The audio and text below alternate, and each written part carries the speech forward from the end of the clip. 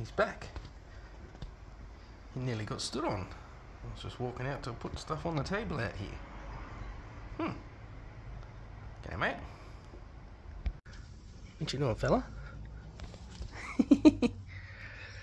okay, I'm gonna have to relocate him. little cutie, poking your little tail up. Alright, I'm gonna take you down to the river. I just think you're gonna have a much better chance at life down there. Yeah. Okay, buddy? Let's do it. Alrighty, little fella.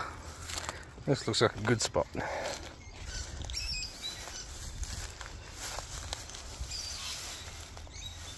Yeah. How about just down here? Alright, buddy. Swap hands. Come on.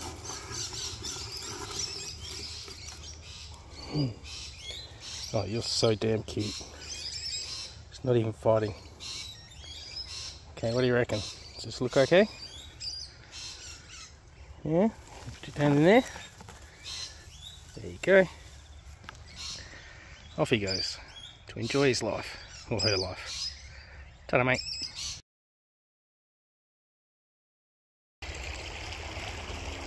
What a beautiful day for a ride. Yeah, go mate.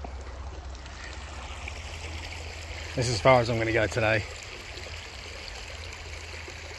Done about, I don't know, 10 or 15 k's. I'm not really paying attention, I was just riding. But I'm outside of Adelaide now, I'm actually in the base of the foothills. Beautiful. Anyway, I'm going to enjoy this for a minute. Then I'm probably going to turn around and head back. So I've got plenty of work to get on with on this beautiful Sunday. There you go. Done it, mate. That's freaking cool. Check this out.